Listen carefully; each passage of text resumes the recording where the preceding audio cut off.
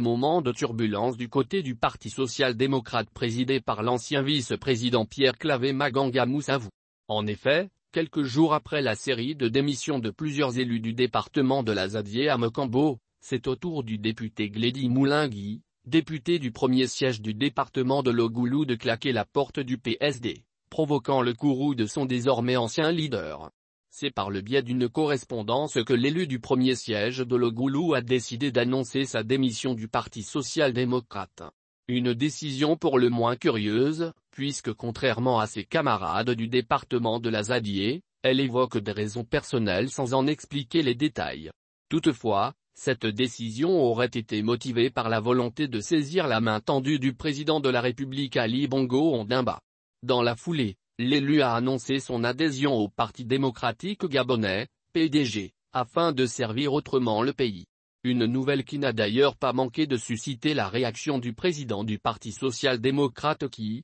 dans une vidéo diffusée sur les réseaux sociaux, a accusé ouvertement le chef de l'État d'être à l'origine de ces vagues de démissions au sein de son parti. Je viens vous prendre à témoin, le président Ali Bongo qui veut coûte que coûte se maintenir au pouvoir malgré le fait qu'il n'est plus en capacité d'exercer le pouvoir a entrepris de me mener la guerre parce que j'aurais eu l'outrecuidance de me présenter aux élections présidentielles de 2023, point, son comportement qui consiste à faire démissionner des élus, faire démissionner un maire et aujourd'hui même Madame Glédy Moulin Guy Demi Mongo, c'est un comble, a lancé Pierre Clavé Maganga Moussavou.